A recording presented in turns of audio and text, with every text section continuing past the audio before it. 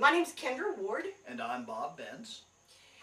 We want to share some music with you, and we plan to play something called Sunday Sunrise.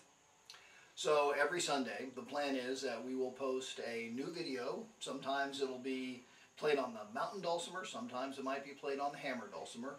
But all of these will be old gospel tunes or hymns that we grew up playing or that we just have loved for our entire lives.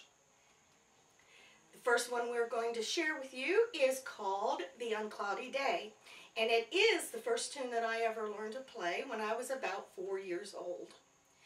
I'm going to play it on my beautiful Honecker dulcimer made by Bobby Ratliff. We hope you'll enjoy it.